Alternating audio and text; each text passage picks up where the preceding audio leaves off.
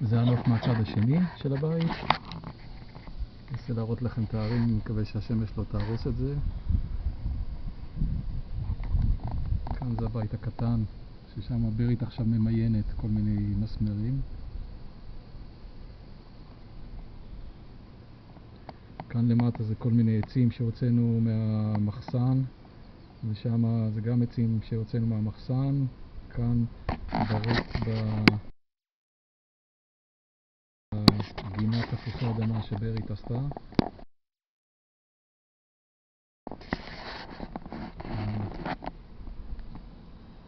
למטה